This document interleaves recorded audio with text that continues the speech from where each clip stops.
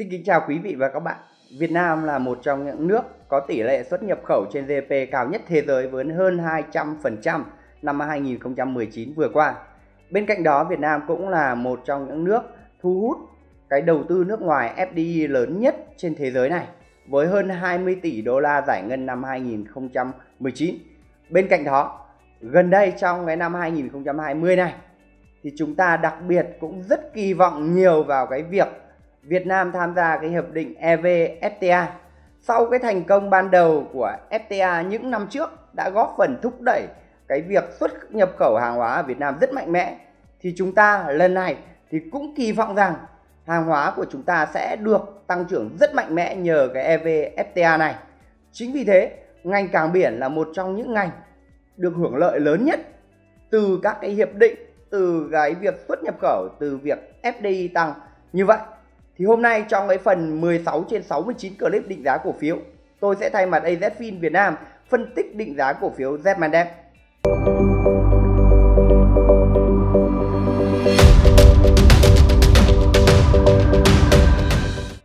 Nội dung phân tích của tôi hôm nay gồm có 4 phần như sau. Phần thứ nhất là tổng quan về ngành khai thác cảng biển. Phần thứ hai là luận điểm đầu tư cũng như đánh giá cái triển vọng của cổ phiếu Zmandev này. Phần thứ ba là dự báo và định giá cổ phiếu Zmandev. Phần thứ tư là rủi ro và khuyến nghị đầu tư đối với cái cổ phiếu Zmandev này. Trước tiên là về tổng quan về ngành khai thác cảng biển thì cái sản lượng hàng hóa vận chuyển bằng đường biển của Việt Nam tăng nhanh chóng trong những năm qua. Thì cái tốc độ tăng trưởng nếu như từ 2011 đến năm 2014 chỉ là 7,4% một năm mà thôi thì đến từ 2015 đến 2018 19 đã lên đến 12,5% và cái xu hướng này chúng tôi cho rằng sẽ tiếp tục tăng trưởng rất mạnh mẽ nữa nhờ rất nhiều các cái yếu tố nội lực khiến cho xuất nhập khẩu ở Việt Nam sẽ tăng trưởng mạnh trong tương lai. Tiếp theo, đó là cái sản lượng container ờ, xuất khẩu và nhập khẩu chiếm tới hơn 60% tổng sản lượng hàng hóa qua cảng từ năm 2016 đến 2018 ạ. Và đây chính là xuất khẩu là cái đường xanh đậm này, uh, xanh nhạt này là nhập khẩu và nội địa là màu đỏ này. Tức là ba cái này nó luân chuyển cũng khá là là lớn và nó có tỷ trọng tương đối là uh, ngang bằng nhau. Không giống như các nước khác thì chủ yếu là nội địa nó sẽ rất là lớn. Đó, nhưng Việt Nam có sự uh, đóng góp của xuất nhập khẩu rất là mạnh mẽ. Đó, mặc dù là cái tăng trưởng xuất nhập khẩu có giảm tốc độ trong cái năm 2019 và 2020 do dịch bệnh Covid nhưng về dài hạn cái xu hướng tăng trưởng vẫn sẽ rất mạnh mẽ và mạnh mẽ như thế nào sau đây thì chúng tôi sẽ đi tiếp để quý vị có thể hiểu rõ hơn. Nhờ ký kết FTA từ năm 2009 đến 2018 đã góp phần giúp cho cái xuất khẩu của Việt Nam tăng trưởng rất mạnh mẽ. Thì chúng ta có thể thấy đấy ạ. Đó, xuất khẩu giai đoạn 2009 đến 2018 trong 10 năm cái tốc độ tăng trưởng trung bình 18,1% một năm tức là cái tốc độ tăng trưởng này cao gấp 3 lần so với GDP thì giúp cho Việt Nam vươn lên mạnh mẽ trở thành một trong những nước xuất nhập khẩu hàng đầu ở trên thế giới. Tuy rằng là chúng ta đang bị Covid-19 cũng như toàn thế giới đang bị Covid-19 sẽ ảnh hưởng đến cái xuất nhập khẩu trong năm 2020 này khá lớn. Tuy nhiên, chúng tôi cho rằng 2021 trở đi khi dịch Covid-19 qua thì EVFTA sẽ giúp Việt Nam một lần nữa tăng trưởng mạnh hơn cái việc xuất khẩu của mình.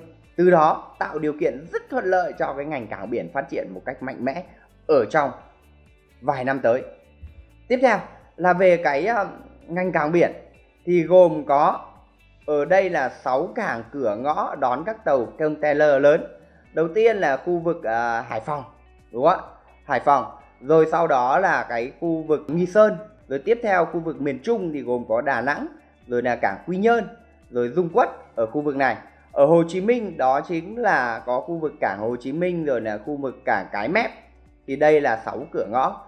Thì trong đó thì có hai cửa ngõ hưởng lợi lớn nhất trong cái hệ thống uh, các cái cảng uh, container ở Việt Nam. Đó là đầu tiên đó là khu vực cảng hạ nguồn sông Cấm tức là phía ngoài cái cầu Bạch Đằng ở cái khu vực cảng Hải Phòng đấy ạ sông Cấm ạ và thứ hai đó là khu vực cảng Cái Mép thì rất thuận lợi và là những nơi được hưởng lợi lớn nhất từ cái xu hướng tăng trưởng về xuất nhập khẩu hàng container ạ.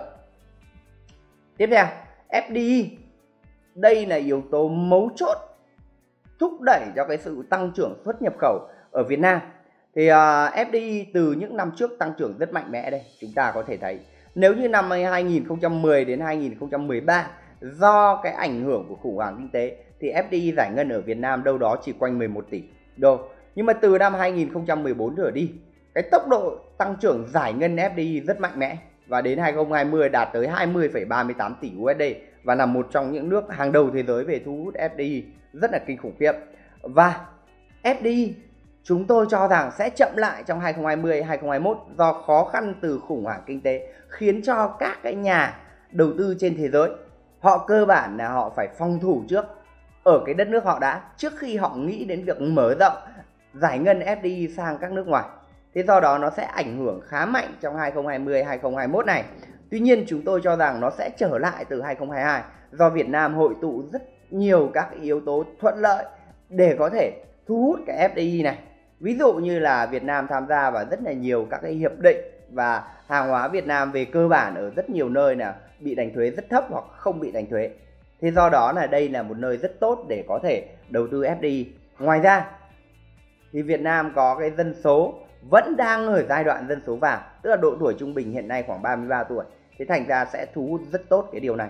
Bên cạnh đó thì Việt Nam là một trong những nước có mật độ dân số cao nhất thế giới. Điều này rất thuận tiện cho việc tuyển công nhân, nhân viên uh, cho các cái tập đoàn này. Và FDI giải ngân thì chúng tôi nghiên cứu nhận thấy rằng nó có độ trễ về mặt làm cho cái sản lượng hàng qua cảng sau khoảng từ 1 đến 3 năm. Bởi vì sao? Khi người ta giải ngân FDI người ta bắt đầu xây dựng nhà máy, đúng không ạ? Đúng không ạ? Thì thực sự phải một thời gian sau, tức là sau tối thiểu phải xây nhà máy một năm 2 năm, rồi là đi vào vận hành ban đầu, thì đến năm thứ ba, thông thường cái khu vực FDI này mới thúc đẩy cái lượng hàng hóa tăng trưởng rất mạnh. Bên cạnh đó thì nhờ do Covid-19 làm cho 2020 và 2021 xuất nhập khẩu sẽ kém đi thì đến năm 2022 có thể sẽ bung trở lại rất mạnh mẽ. Chúng tôi cho rằng giữa 2021 thì sản lượng hàng hóa đã tăng trở lại rồi. Và các công ty cảng sẽ là những công ty được hưởng lợi rất mạnh mẽ từ cái xu hướng này, từ cái xu hướng này. Chúng ta phải đặc biệt chú ý, đặc biệt chú ý động lực của xuất nhập khẩu của Việt Nam rất lớn đến từ khối FDI đúng không và FDI thì rất mạnh mẽ. Thì điều này sẽ giúp cả thúc đẩy trong tương lai rất tốt. Tiếp theo chúng tôi đến với cổ phiếu Zmendex thì về luận điểm đầu tư về trung hạn thì chú ngắn và trung hạn chúng tôi cho rằng định giá cổ phiếu Zmendex không hấp dẫn. Chúng tôi nói thẳng như vậy. Còn về dài hạn thì là tương đối hấp dẫn nhưng mà nó phải rất dài hạn tức là tầm trên 3 năm. Thì à, đâu vì sao lại như vậy? Thì đầu tiên là Zmendev là công ty cung cấp dịch vụ logistics khép kín. Đó, và đây là công ty tư nhân khai thác cảng lớn nhất Việt Nam, với hệ thống cảng biển kho bãi và vận tải trải dài từ Bắc đến Nam. Rất đầy đủ và hệ thống khép kín. Tiếp theo là công suất khai thác cảng của Zmendev thì tăng rất mạnh từ năm 2021 với thứ nhất là cảng Nam Đình Vũ với cái công suất 500.000 têu thì sẽ được đi đưa vào hoạt động vào năm 2021 này. Thứ hai là cảng Dep Linh thì dự kiến là có thể vận hành chạy thử vào cuối năm 2020 và bắt đầu đi vào hoạt động năm 2021 thì công suất cái giai đoạn 1 của Z Linh này là lên đến 1,5 triệu têu đó và tổng cả hai giai đoạn là 2,4 triệu têu thì sẽ giúp cái tổng công suất của Z Dep đúng không tăng mạnh lên 3,15 triệu têu trong cái uh, giai đoạn từ 2021 này. Tuy nhiên nếu cả hai giai đoạn thì công suất của Zemandev có thể tăng lên đến hơn 4 triệu teo 4,05 triệu teo. Thì tức là mức tăng trưởng hơn 200% đấy thì tuy vậy thì uh, Nam Đình Vũ thì chúng tôi cho rằng có thể mang lại lợi nhuận luôn vào cuối 2021 hoặc đầu 2022 nhưng Z Ninh thì do cái quy mô cảng này rất lớn rất lớn. Thế thành ra để mà để lấp được uh, lên đến khoảng độ 6 70% là cũng phải mất một thời gian khoảng 2 đến 3 năm. Thì khi đó Z Ninh mới hỏa vốn thì chúng tôi cho rằng Zemalink để hòa vốn thì phải vào cuối năm 2023 thì lúc đó mới bắt đầu nhe nhóm mang lại lợi nhuận cho Zmandev được. Đó. Và lợi nhuận năm 2020 dự kiến là sẽ suy giảm khá mạnh do ảnh hưởng của Covid-19 đó. Thì chúng tôi cho rằng năm nay lợi nhuận có thể giảm đâu đó khoảng 10% thậm chí hơn. Và 2021 thì chúng tôi cho rằng mới có khả năng trở lại cái mức lợi nhuận của 2019 và để tăng trưởng lợi nhuận rõ ràng thì chúng tôi cho rằng phải 2023, 2024 trở đi khi Z hoạt động trên 60% công suất. Ở cái giai đoạn 1 tức là nó hoạt động được trên 900 ngàn teo thì lúc đó nó mới có lợi nhuận. Còn khi nào mà nó hoạt động ở full công suất lên đến 1,5 triệu teo thì lợi nhuận của nó có thể mang lại một năm khoảng độ 500 tỷ đồng. 500 tỷ đồng riêng cái cảng Z này. Và chúng ta lưu ý rằng đây là cái cảng biển cảng nước sâu lớn nhất Việt Nam. Lớn nhất Việt Nam nhỉ? Không phải đơn giản đâu ạ và có vị trí vô cùng chiến lược ở cái khu cái mép bạn. tiếp theo, chúng ta cùng tổng quan tiếp về Z thì đây là một trong những cổ phiếu niêm yết đầu tiên ở trên sàn giao dịch chứng khoán Việt Nam.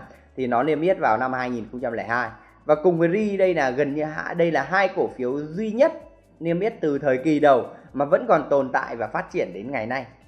Đó, và vẫn còn nằm trong VN30 từ những thời gian trước. Đó, thì cổ phiếu này có vốn uh, hóa vốn điều lệ khoảng độ 3.000 tỷ đồng vốn hóa thị trường hiện nay khoảng 6.814 tỷ đồng tức là giá trị của toàn bộ công ty đấy thanh khoản thì cổ phiếu này rất tốt. Và đặc biệt Zmendev là một cổ phiếu có những cái con sóng rất dài thậm chí kéo vài năm và tăng trưởng rất giá rất là tốt. Thì cái này phù hợp với những nhà đầu tư nào đầu tư theo những cái con sóng một vài năm một vài năm thì sẽ rất là tốt. Và có thể 2020 này là khởi đầu của, của một con sóng như vậy, có thể là như vậy. Đúng không? tiếp theo, thì chúng ta đi sâu hơn một chút về Zmandev thì lịch sử hình thành và phát triển, thì công ty này đã hình thành và phát triển được 30 năm rồi. Đó, từ năm 1990 đây là một cái quá trình phát triển của nó. Đó, và nó đang ngày càng làm cho cái hệ sinh thái của mình trở nên dày đặc và trở lên gọi là khép kín và trở lên hoàn hảo hơn.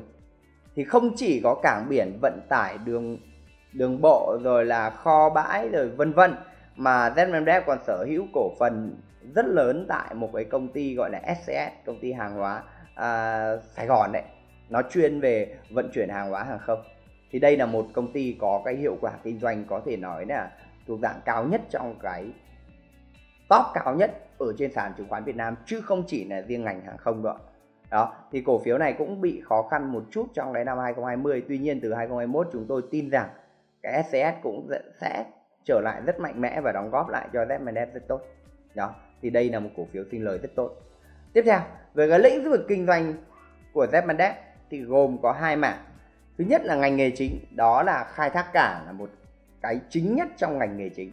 Gồm có cảng Nam Hải này, Nam Hải Đình Vũ này, Nam Đình Vũ này, Nam Hải ICT này. Thì đây là bốn cái hệ thống cảng này. Bốn cái cảng này thì nó nằm ở khu vực Hải Phòng toàn bộ nằm ở khu vực Hải Phòng. Và có cảng Nam Đình Vũ thì chưa đưa vào hoạt động thôi sắp đưa vào hoạt động thôi. Còn lại ba cảng kia đã hoạt động về cơ bản là full công suất rồi. Tiếp theo ở miền Trung thì Zmendev có cảng Dung Quất.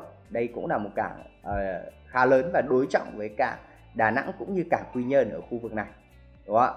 rồi là ở Bình Dương rồi là ở khu vực cảng Zepmanic Zepmaling ở khu Cái Mép. Thì đây là một cái hệ thống cảng trải dài từ Bắc vào Nam rất đầy đủ. Và tiếp theo là liên quan đến mảng logistics. Thì ờ, uh, Zmendev Logistics thì có các cái công ty ví dụ như SCS như tôi vừa nói ở hoạt động trong cái lĩnh vực hàng không hay là Kalai Zmendev Logistics tức là công ty này kết hợp với một đối tác Hàn Quốc. Đúng không đó. Rồi OO, OOCL vân vân. Đây rất nhiều các công ty. Đó. Rồi là CG các CG đó. Rồi tiếp theo. Đó là một cái mảng đầu tư bên cạnh đó thì chúng tôi đây là chúng tôi ừ, chụp lại cái hình ở trong báo cáo thường niên thôi. Nhưng chúng tôi không cho rằng đây là một mảng đầu tư chiến lược. Nói chung đây là một nỗi đau là một điểm yếu của Zmendev đầu tiên là liên quan đến trồng rừng. Thì à, uh, Zmendev trồng cao su khoảng chục năm nay rồi. Vốn đầu tư lên đến khoảng 1.618 à, tỷ. Tuy nhiên nó chưa mang lại một cái gì cả. Và chúng tôi cho rằng là Zmendev sẽ bị lỗ rất lớn ở cái này nếu thành lý còn trong 10 năm qua nó không mang lại một cái gì cả. Nó chỉ là nỗi đau của Zmendev mà thôi tiếp theo về mảng bất động sản thì ờ, do Zmendev là một cái công ty tiền thân là từ doanh nghiệp nhà nước cổ phần hóa thế thành ra nó sở hữu được các cái quỹ đất rất tốt. Dạ cũng giống như Ri Ri sở hữu các quỹ đất rất tốt và sau này phát triển văn phòng cho thuê. Rất mạnh mẽ thì Zmendev có cái cao ốc Sài Gòn Game đúng không khu vực ờ, phức hợp uh, viên đúng không?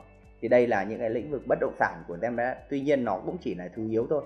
Nó có thể là mang lại khoản lợi nhuận đột biến nếu Zmendev bán đi còn không, bình thường nó cũng không đóng góp đáng kể, thậm chí là không đóng góp cơ đó, thì đây là một cái mảng chúng tôi cho rằng là một mảng điểm yếu và lỗi đau của Zmanep chứ không phải là mảng chiến lược tiếp theo, về à, cơ cấu doanh thu và lợi nhuận 2019 chúng ta có thể nhìn thấy ở trên này doanh thu và lợi nhuận của Zmanep chủ yếu đến từ mảng khai thác cảng biển là chính nhé.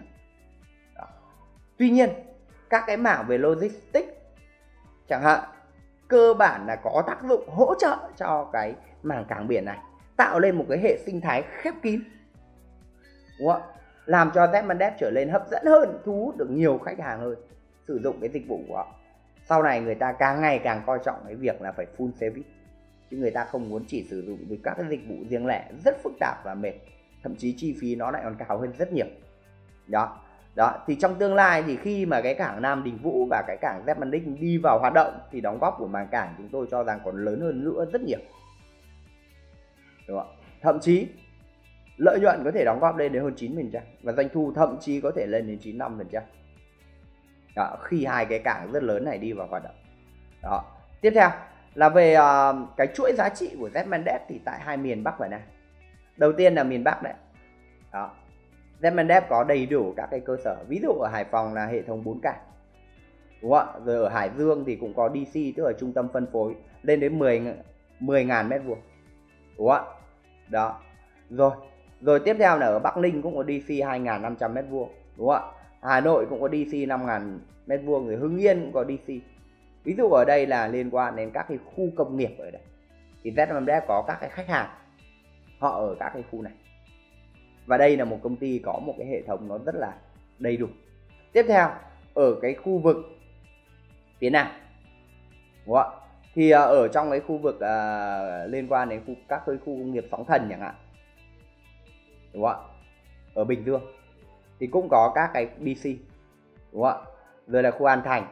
Đúng không ạ? Rồi các khu khác. Đó đây một hệ thống này. Z Manning thì ở Bà Rịa Vũng Tàu này.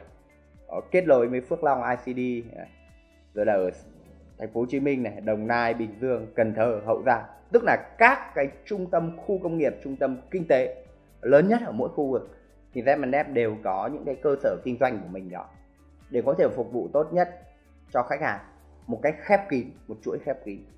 Đó, thì đây là một cái lợi thế mà hiếm có các cái doanh nghiệp nào ở Việt Nam có thể sở hữu. Đặc biệt là trong cái đối tượng tư nhân thì gần như chỉ có Zmandep có mà thôi. Đó, đây là một cái lợi thế của nó. Và nếu mà khai thác tốt cái lợi thế này, rõ ràng Zmandep sẽ rất hiệu quả trong tương lai. Tiếp theo, về à, cái hệ thống cảng biển và logistics miền Bắc thì đây chúng ta uh, đây là ảnh vệ tinh. Chụp các cái cảng đúng không ạ? Chỉ có duy nhất cảng Nam Hải năm 2009 hoạt động năm 2009 thì nằm ở phía trong thượng nguồn sông Cấm. Thì cái cảng này về cơ bản là hoạt động cũng kém hiệu quả rồi. Bởi vì ở phía trong này thì về cơ bản là chủ yếu làm hàng liên quan đến nội địa mà thôi. Bởi vì uh, người ta tính cái cầu sông cầu bạch đằng này. Đó các cái tàu bè lớn các cái tàu thuyền lớn họ sẽ không vào trong đó thì nó lại phù hợp nó đưa ra vừa làm DC vừa làm cái cảng hàng cho uh, nội địa với cái giá chi phí thấp hơn rất nhiều. Còn các cái cảng ngoài này ví dụ Lam Đình Vũ về cơ bản đã full rồi thì cảng này gần với cảng uh, VIP Green của VSC cũng như gần với cảng Đình Vũ DVP ở trên sàn đấy ạ và có công suất tương đương. Thì cái cảng Nam Đình Vũ thì công ty đang đang xây dựng thì chúng tôi kỳ vọng rằng sẽ sớm vào hoạt động và uh, rất nhanh chóng có thể phun được cái cảng đó. Bởi vì nhìn vào trường hợp VSC thì cũng rất nhanh chóng. Và rõ ràng đây là các cái vị trí thuận lợi nhất ở khu vực Hải Phòng thuận lợi hơn cả khu Lạch Huyện Lạch huyện. Lạch huyện về cơ bản tàu bè họ đỗ có thể là thuận tiện nhất. Nhưng mà cái chi phí để xe container đi ra ngoài Lạch huyện ấy chở container vào ít nhất đã mất 500 ngàn rồi. Ngoài ra đường lại còn dài hơn. Thế thành ra rõ ràng là của Zepmandev về Nam, Hải Đình Vũ và Nam Đình Vũ là vị trí chiến lược và tốt nhất ở khu vực cảng Hải Phòng. Đúng không? và Zepmandev chiếm thị phần lớn nhất tổng sản lượng container tại cụm Hải Phòng với 30% tổng công suất cơ. Rất kinh khủng vậy ạ. Lớn hơn cả Hải Phòng, cảng Hải Phòng. Hệ thống ờ, của cái công ty cảng Hải Phòng này chỉ đạt 27% mà thôi. Đình Vũ thì có 14% đúng không đó, vân vân. Và các cái cảng khu vực Hải Phòng thì được kết nối với trung tâm phân phối Nam Hải ICT đây đó tạo lên một mạng lưới hỗ trợ nhau rất tốt thực sự rất tốt và chỉ có Zepmanet có mà thôi. Tiếp theo đó là hệ thống cảng và logistics tại miền Trung và miền Nam.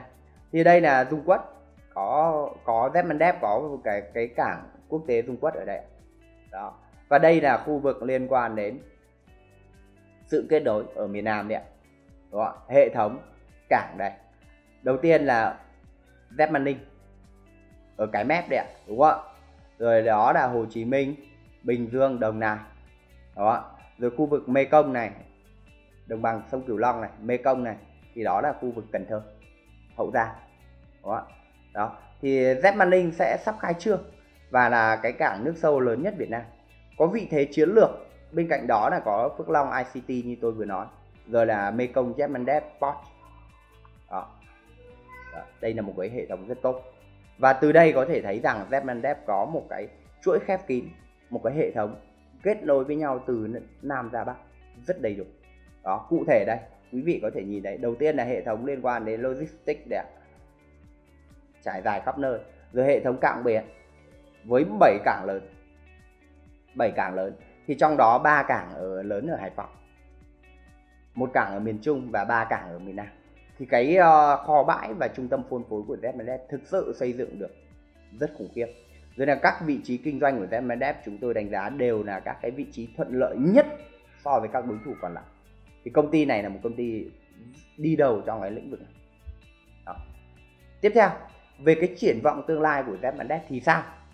Thì chúng tôi cho rằng triển vọng tương lai của Zemendev chính là cái cảng Nam Đình Vũ sẽ tăng công suất cho Zemendev thêm 5, 500 ngàn tiêu thì hiện nay mọi người lưu ý nhá tổng công suất của Zemendev chỉ là 1 triệu 150 ngàn tiêu mà thôi. Riêng cái cảng Nam Đình Vũ đã tăng 500 ngàn tiêu tức là tăng hơn 4% rồi. Thì cái cảng Zep nó còn kinh khủng hơn đó là giúp à, Zep tăng được khoảng 1,5 triệu tiêu tức là cao gần gấp rưỡi so với toàn bộ công suất khai thác cả của Zemedev từ 2019 đổi lại Đó. thì nhưng mà 1,5 triệu tiêu này đối với Zemalink chỉ là giai đoạn 1 thôi còn giai đoạn 2 nữa thì sẽ tăng thêm 900 ngàn tiêu nữa nâng tổng công suất lên đến 2 triệu 400 ngàn tiêu tức là rất khủng khiếp đấy thì nhờ hai cảng mới này thì Zemedev sẽ tăng được công suất thêm 252,17% từ 1,15 tiêu triệu tiêu lên 4,05 triệu tiêu thì điều này sẽ giúp Zemedev có thể tăng trưởng rất dài hạn trong 7 đến 10 năm tới vượt trội hoàn toàn so với các cái công ty cả khác. Thì bên cạnh đó cái yếu tố giá làm hàng sẽ là một ẩn số có thể giúp cho Demandev đạt được cái hiệu quả cao hơn trong tương lai. Có thể nhé bởi vì sao? Hiện tại là giá làm hàng đang thấp kỷ lục và bằng 1 phần 2 so với trung bình ở trong khu vực thôi. Nếu mà trong tương lai không có nhiều các cái cảng mới nữa và xuất nhập khẩu của Việt Nam tiếp tục tăng trưởng rất mạnh, thì chúng tôi kỳ vọng rằng giá làm hàng sẽ tiếp tục tăng. Trở lại thì tăng trở lại thì chúng tôi kỳ vọng rằng nếu tăng trở lại thì phải từ năm 2023 trở đi thì mới bắt đầu có thể tăng trở lại thì nếu tăng trở lại như thế, thì cái hiệu quả kinh doanh của Zmandep sẽ không thể tưởng tượng nổi đâu sẽ rất tốt đó. nhưng tuy nhiên cái này là một cái yếu tố không chắc chắn thì nó dựa vào quan điểm cá nhân của từng nhà đầu tư, cũng như những đánh giá phân tích riêng của mỗi người đó, chứ nó cũng không không thể chắc chắn được đó. về dự báo kết quả kinh doanh thì lợi nhuận sau thuế cốt lõi. Chúng tôi cho rằng năm 2020 của Zmandev chỉ đạt 460 tỷ thôi. Vì sao chúng tôi lấy cốt lõi? Bởi vì Zmandev cứ thỉnh thoảng lại có những cái khoản lợi nhuận đột biến từ do bán tài sản. Đúng không? thì những cái đó rất là khó dự báo và không dự báo được. Cốt lõi của Zmandev 2020 sẽ giảm khoảng 10% còn 460 tỷ thôi. 2021 chúng tôi dự kiến là nó sẽ tăng lại bằng năm 2019 khoảng 520 tỷ. Và 2022 22 có thể tăng trưởng khá mạnh, hơn 20% lên 650 tỷ đó thì đây là một cái kịch bản cũng ở kịch bản trung bình. Đó. còn thực tế nó có thể diễn ra rất khác nhé. Đó bởi vì kinh tế luôn luôn thay đổi mọi thứ luôn luôn thay đổi. Thì EPS năm 2020 đạt khoảng 1.549 đồng. Đó PE hiện nay đâu đó khoảng độ 14 lần 14,5 lần đúng không EPS cho 2022 khoảng 2.189 đồng. Thì cổ tức chúng tôi cho rằng 2019, 2020 và 2021 đâu đó khoảng 1 000 1.200 đồng và 2022 là khoảng 1.500 đồng đối cổ phiếu này. Nếu mà nhìn trên góc độ đầu tư nhận cổ tức và định giá trên PE thì rõ ràng với cái giá 22 này vào cuối tháng 8 năm 2020 này thì cổ phiếu Zenbet thực sự không hấp dẫn. Đó nếu mà nhìn kết quả kinh doanh và nhìn định giá theo PE cũng như là cổ tức. Đó thì rủi ro đầu tư đối với Zmandev thì chúng tôi đưa ở đây ra như sau. Đầu tiên là hiệu quả kinh doanh của Zmandev là thực sự chúng tôi đánh giá là rất yếu kém, không phải tốt đâu. Trong khi các cái cảng khác như Đình Vũ Vicoship và một số các cảng khác, lợi nhuận trên vốn chủ sở hữu của họ đạt khoảng 20 đến 35% cơ. Nhưng riêng Zmandev chúng tôi tính trung bình chưa được 10% trong nhiều năm qua. Thực sự đây là một cái kết quả rất yếu kém. Rất yếu kém thứ hai là Zmandev đang bị mắc kẹt bởi dự án trồng cao su với tổng giá trị 1.618 tỷ đồng. Đây ạ. Dự án trồng cao su của Pacific Pride này đúng không ạ? Pacific Pier Pacific uh, Lotus này. Thì ba dự án này cộng lại. Demrep đã phải đổ vào đấy 1.618 tỷ đồng chiếm tới hơn 1 phần 4 vốn chủ sở hữu. Quý vị lưu ý nhé đây chiếm thực ra là chiếm khoảng gần 1 phần 3 đấy nó khoảng độ 28 29 phần trăm gì đấy, vốn chủ sở hữu. Thì điều này đã gây ra sự lãng phí, thậm chí là sẽ thua lỗ rất lớn nếu mà Zmandev thanh lý cái khu vực này. Thì thực sự đã đầu tư vào đây 10 năm nhưng nó chưa mang lại gì cho Zmandev cả. Nó chỉ ngốn thêm tiền mà thôi. Ngốn thêm tiền này thôi. Thì đây là cái rủi ro lớn nhất đối với cổ phiếu Zmandev này. Thứ ba là về quản trị chi phí thì của Zmandev chúng tôi cho rằng chưa thực sự an tâm và đặc biệt kết quả kinh doanh này chúng tôi chưa nhìn thấy cái sự tương xứng so với vị thế và các cái lĩnh vực kinh doanh của Zmandev đang có. Thì chúng tôi có một cái câu hỏi ở đây đặt một cái nghi ngờ ở đây, về cái vấn đề đó. Đó vấn đề liên quan đến quản trị. Thì đây cũng chỉ là nghi ngờ thôi. Nhưng mà thực tế cho thấy là hiệu quả kinh doanh công ty rất chậm đó rồi là bị ờ, đây. Riêng cái dự án cao su đã chiếm mất hơn 1.600 tỷ vứt vào đấy không sinh lời rồi và thậm chí nếu thanh lý như tôi đã nói có thể lỗ rất lớn. Đó, đấy là những cái rủi ro của Zmandev vậy thì à, định giá cổ phiếu Zmandev như thế nào? Thực sự đây là có thể nói là một trong những cái rất khó khăn đối với chúng tôi. Nếu như chúng tôi định giá các cổ phiếu trước nó dễ dàng hơn thì cổ phiếu này thực sự rất khó khăn. Bởi vì Zmandev là một doanh nghiệp sở hữu nhiều tài sản ngầm như bất động sản. Và sở hữu các cái cảng biển có vị trí rất chiến lược rất tuyệt vời có thể nói nếu mà đi thanh lý các cái cảng rồi thanh lý các cái tài sản của Zmandev ấy hoàn toàn có thể thu được gấp hai lần so với vốn chủ sở hữu hiện tại. Đó, tương đương với giá khoảng hơn 40.000 đồng một cổ phiếu cơ. Nhưng mà để lại kinh doanh thì nó lại sinh lời không tương xứng. Thế cho nên là nếu mà chỉ định giá dựa vào tài sản không thì cũng không ổn mà định giá dựa vào lợi nhuận sau thuế không thì cũng không ổn bởi vì nếu dựa vào lợi nhuận sau thuế, nhưng mà nếu mà công ty này có cái việc thỉnh thoảng bán tài sản thì nó lại mang lại những nguồn lợi nhuận rất lớn, có thể trả cổ tức rất cao. Thì không thể theo hoàn toàn lợi nhuận theo sau thuế co được. Đúng không ạ? Mà định giá theo tài sản cũng không được, bởi vì tài sản liệu có sinh lời, sinh đá không? Đó. Thì chúng tôi cuối cùng đã đưa ra kết luận, đưa ra cái hướng giải quyết. Thực sự đây là đau đầu đối với chúng tôi mấy anh em phải ngồi và đưa ra kết hợp định giá cổ tức và giá trị tài sản vòng kết hợp với nhau.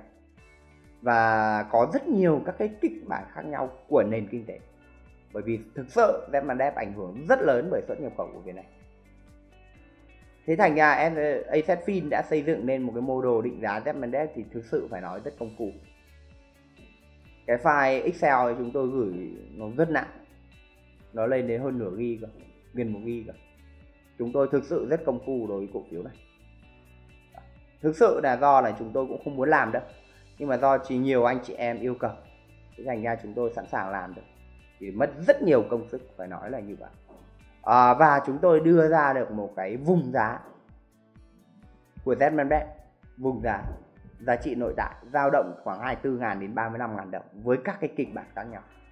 Cái này chúng ta không thể đưa ra được một con số nó rất khó khăn bởi vì GDP chỉ cần tăng giảm một phần trăm phát thì ngay lập tức là là định giá nó sẽ khác hẳn luôn.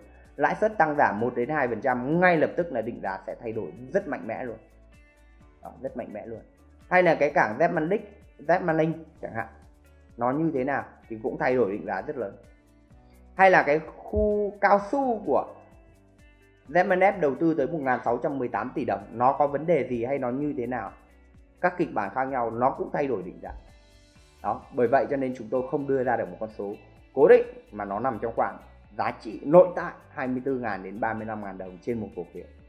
Và như vậy thì chúng ta sẽ khuyến nghị như thế nào? Thì ở đây là chúng tôi đưa ra khuyến nghị. Thì ZMDF ngoài cơ hội rất rộng mở trong 10 năm tới nhờ cái công suất khai thác cảng sắp tới có thể tăng từ 1 triệu 1,15 triệu têu lên 4,05 triệu têu có thể nói đây là cảng công ty có duy nhất có cái sự tăng trưởng mạnh đến như vậy, thì các cảng là đều có các vị trí rất đặc điểm ví dụ như là Nam Hải Đình Vũ và Nam Đình Vũ, đúng không ạ? Có vị trí đẹp nhất khu vực Hải Phòng. Hay là cảng Zeppelin Linh có vị trí đẹp nhất khu vực Cái Mép, khu vực cực kỳ rộng rộng lớn để phù hợp cho việc cảng. Đó. Và cái hệ sinh thái của Zeppelin có thể nói là tuyệt vời rất nhiều ông lớn trên thế giới khao khát có được cái hệ thống này. Nhưng mà nó cũng có những cái rủi ro nhất định. Ví dụ như là đầu tư cao su lên 1.618 tỷ đồng như tôi đã nói. Bên cạnh đó là có thể rủi ro liên quan đến quản trị về chi phí, chống thất thoát, vân vân. Bởi vì rõ ràng là Dembet rất là khủng khiếp như thế mà cái kết quả kinh doanh nó mang lại không, thực sự là là là khiến chúng tôi thấy là không xứng với vị thế của nó bởi vì riêng cái cảng Đình Vũ chẳng hạn, có mỗi một cái cảng Đình Vũ thôi, nho nhỏ ở khu vực Hải Phòng thôi. Thế mà lợi nhuận một năm vẫn được 250 tỷ thì trong khi Zmendev có vị thế, mọi thứ nó tốt hơn rất nhiều, nhưng lợi nhuận cũng chỉ gấp đôi phải thôi. Đúng không vốn chủ sở hữu thì gấp nhiều lần.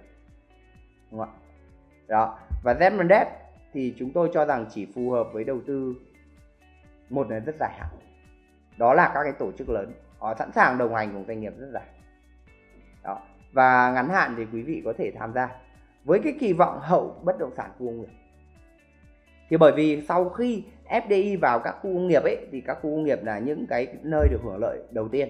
Sau đó, khi hàng hóa được sản xuất ra, đúng không thì đó là các cái công ty logistics của Zemlandev rồi là đó là các công ty khai thác cảng biển, đó là Zemlandev thì đấy là là là ngắn hạn quý vị có thể kỳ vọng cái này thì AZFIN riêng AZFIN thì chúng tôi không đầu tư ngắn hạn. Thành ra cổ phiếu Zemendev thì chúng tôi cũng xếp vào cái khu vực gọi là xem xét thôi, chứ chúng tôi chưa đầu tư. Đó. còn nếu quý vị thích ngắn hạn thì quý vị có thể kết hợp những cái câu chuyện về bất động sản công nghiệp, về FD vào đó để đánh giá. Và cổ phiếu Zep này cũng không phải là một cổ phiếu tệ trong những cái đợt sóng kinh khủng như thế. Đúng không còn về trung hạn thì rõ ràng nó rất chơi vơi. Trung hạn tức là ý chúng tôi ở đây là khoảng 2 đến 3 năm. 1,5 đến 3 năm. Thì nó rất là chơi vơi thì quý vị không nên tham gia. À, còn quý vị nào yêu thích cảng biển Việt Nam? Đúng không ạ? Đặt cửa vào nào đầu tư dài hạn 5 đến 7 năm chẳng hạn. Thì chúng tôi cho rằng những cái lúc cổ phiếu Zep này điều chỉnh giá hợp lý sẽ là cái cơ hội rất tốt để quý vị mua mua thêm. Đó. Thì trên đây là cái kết luận khuyến nghị của tôi về cái cổ phiếu Zep này. Đó. Thì quý vị và các bạn muốn tham gia sâu hơn với AZFIN thì chúng tôi có các group VIP. Thực sự VIP đồng hành hỗ trợ quý vị đầu tư từ A đến Z, chứ không phải là quẩy, là chết đinh, là lướt sóng, là đánh đấm.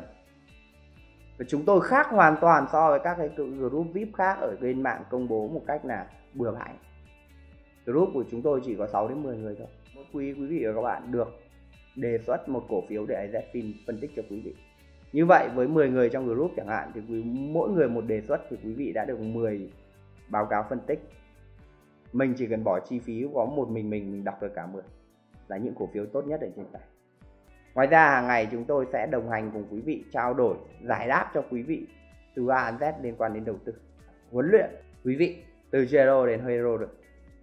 Và điều này chúng tôi đã chứng minh rất nhiều thông qua các cái clip khuyến nghị của tôi cũng như các cái báo cáo khuyến nghị của tôi trong nhiều năm qua.